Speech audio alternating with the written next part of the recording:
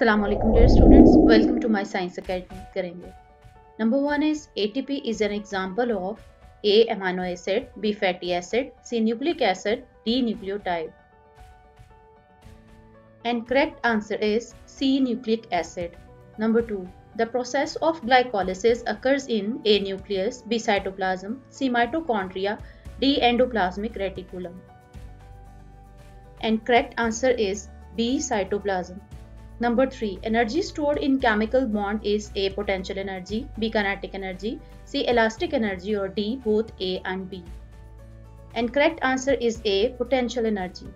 Number 4. Main photosynthetic pigment is A. Chlorophyll A, B. Chlorophyll B, C. Carotenoids or D. Both A and B.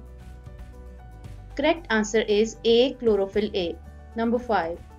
ATP was discovered by a. Schwann, B. Darwin, C. J. Purkinje or D. Carl Lohmann.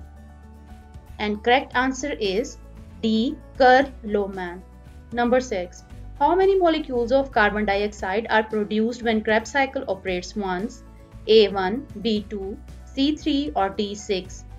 And correct answer is B2. Number 7. Before entering Krebs cycle, pyruvic acid is changed into a two-carbon compound called A-acetyl-CoA, B carbon dioxide, C glucose or D none of above. And correct answer is A acetyl-CoA. Number 8.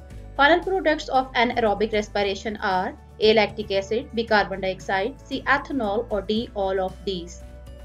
And correct answer is D all of these. Number 9. The covalent bond connecting two phosphates is indicated by A ratio, B colon, C proportion or D tilde. And correct answer is D tilde. Number 10. How much percentage of the light falling on the leaf surface is absorbed? A 1%, B 3%, C 2% or D 4%.